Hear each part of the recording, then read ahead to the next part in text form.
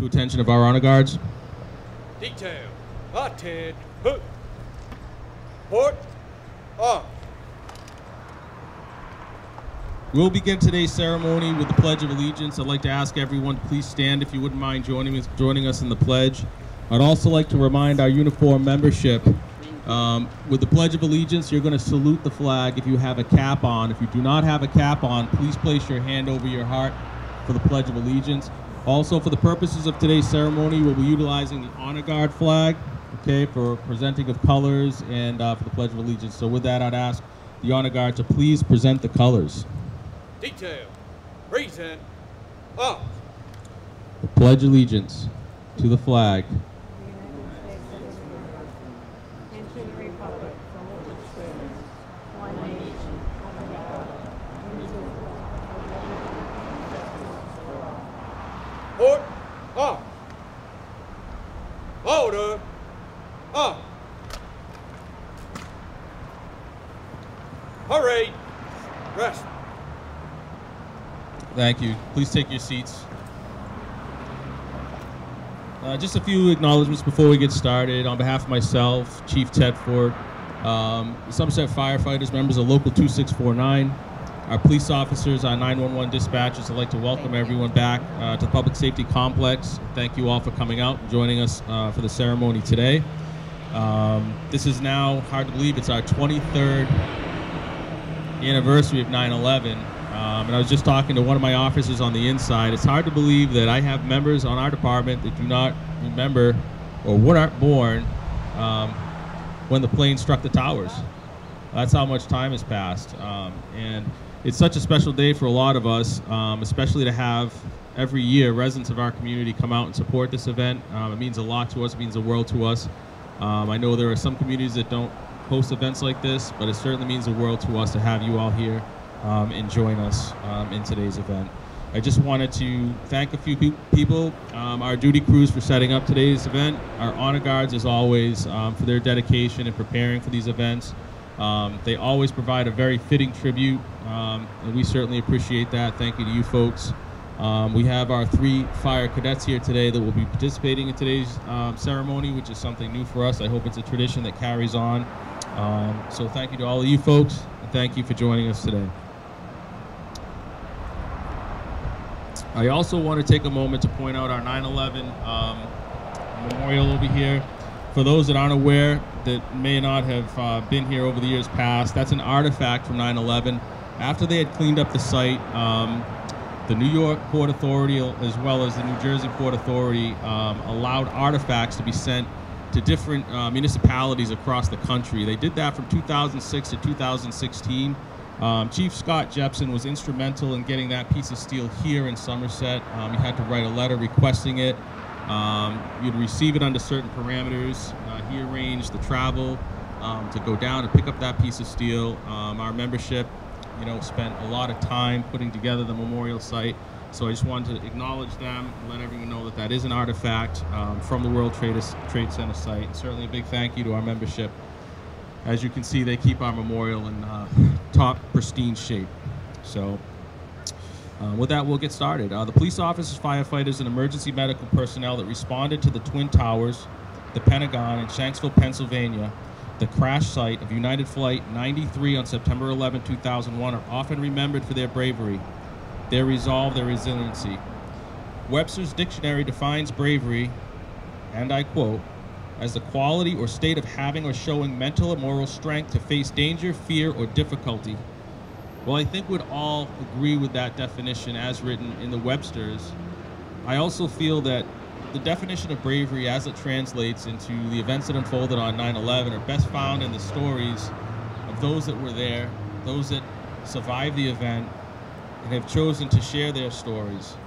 As described by Bruno Dellinger, the owner of a small company with office space on the 97th floor of the North Tower, in his own words, recorded and memorialized in the oral history collection of the 9 11 Memorial and Museum, Mr. Dellinger provides a detailed and in depth account of his journey to safety following the assault on the World Trade Center. As he began describing the events of the day, Mr. Dellinger says he recalls hearing plane engines at full strength, at full force when flying in the sky, a sound that now haunts him on occasions. He recalls the building swinging for two to three minutes after being hit by the plane. In the absence of an alarm sounding or call to evacuate, Mr. Dellinger felt the urge to drop everything and go.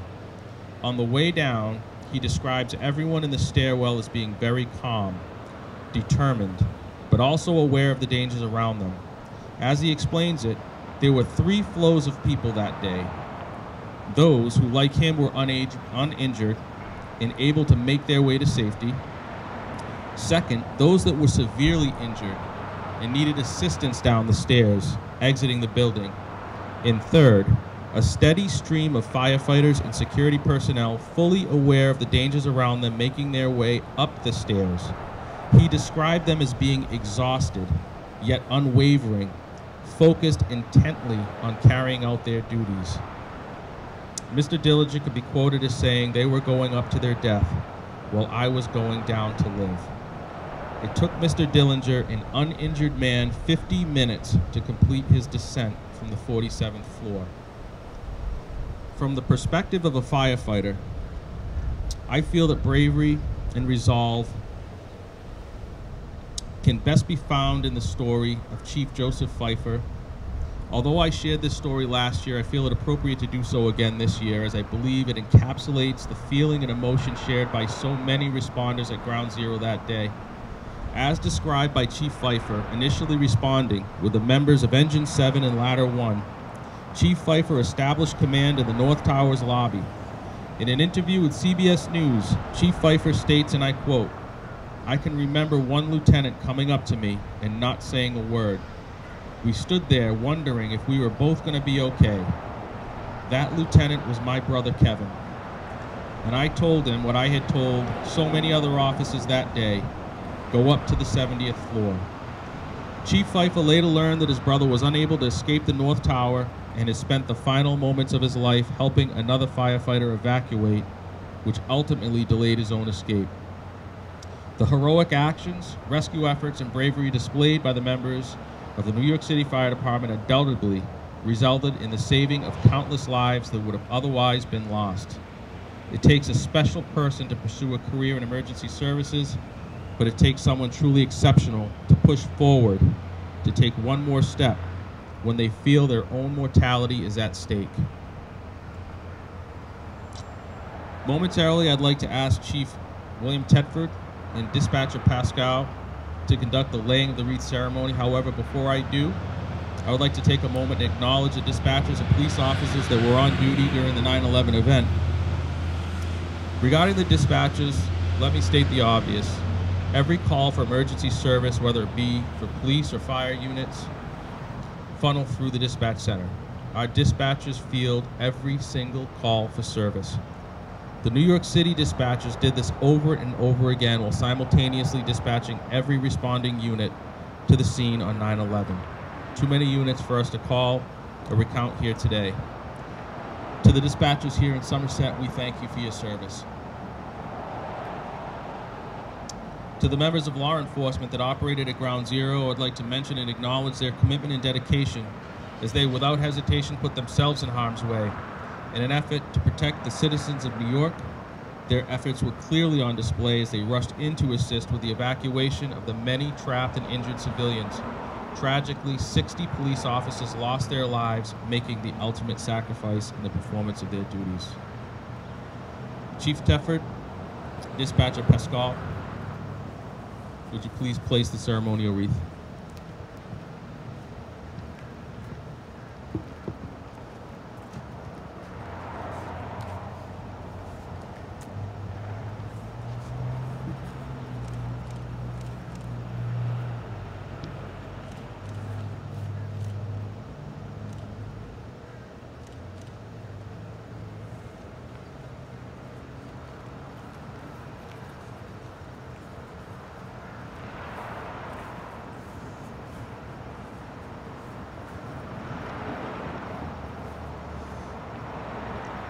At this time, if I could have Captain Jerry Cunha join me at the podium.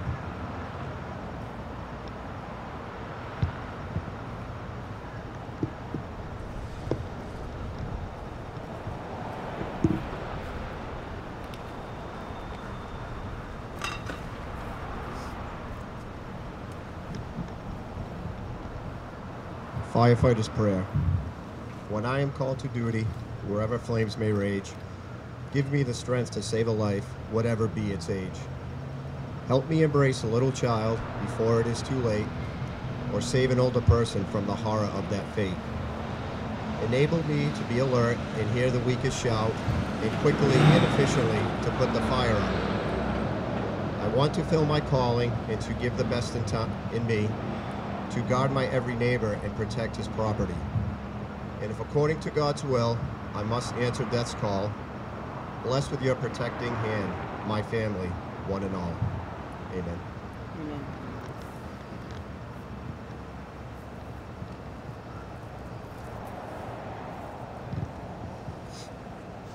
As we remember and honor the many victims of 9 11 and their untimely passing, both the heroic first responders and the civilians they were sworn to protect, let us be encouraged by their life, bravery, and resolve, and let us do so as one people, one nation in solidarity. As said by former President George W. Bush, we have seen the state of our union and the endurance of rescuers working past exhaustion. We have seen the unfurling of flags, the lighting of candles, the giving of blood, the saying of prayers in English, Hebrew, and Arabic. We have seen the decency of a loving and giving people who have made the grief of strangers their own. I'd ask that you keep those that have been personally affected by the events of 9 11 in your thoughts and prayers. In closing, we'll offer one last tribute that's known as a final alarm ceremony. Law enforcement and fire service are both rich in tradition and history when it comes to rendering final honors. We often conduct ceremonies in tribute to those that have lost their lives in the line of duty. Law enforcement will often conduct rifle volleys, while the fire department typically conducts a ceremony known as striking the four fives. For the purpose of today's ceremony, we will be conducting a blended blended ceremony to remember our fallen. As we conduct the final alarm ceremony, I'd ask that you remember all the victims of American Flight 11, United Flight 175, American Flight 77, United Flight 93, the World Trade Center North and South Towers, and all those at the Pentagon. If I could please have our honor guards come to attention. Detail. Attend. Hoot. Port. On.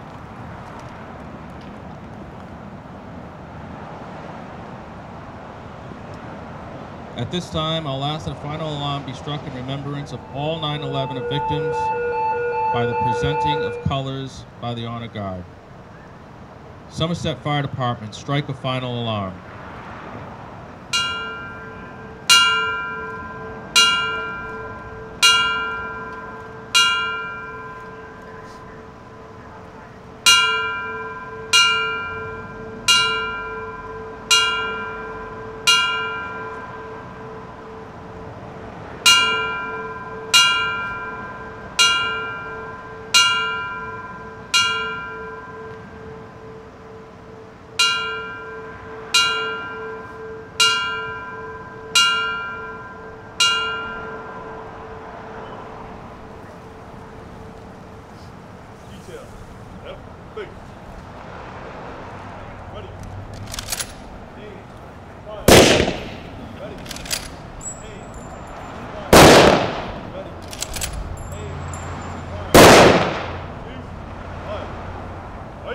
Hey.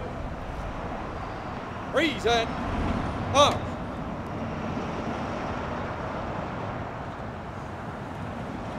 Let's please observe a moment of silence.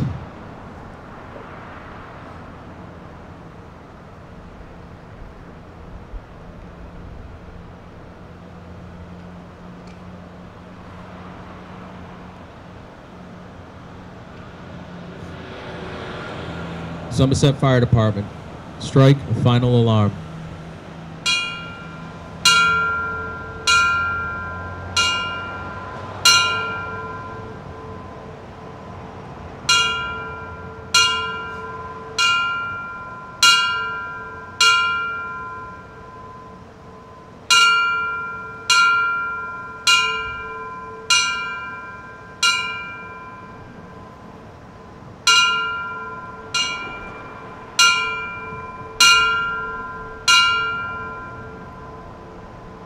Port. Arms. Once again, on behalf of your Somerset firefighters, your police officers, your 911 dispatchers, I'd like to thank you all for joining us today for today's ceremony. Uh, this will conclude our ceremony. I'd ask that everyone please just remain in place until the colors have been properly retired. Thank you. Detail. Right. Face. Hot. Time. March. Left. Left. Forward. March. Left. Left. Left. Left. Left. Left. Left. Left. Left. Left. Left. Thank you, everyone.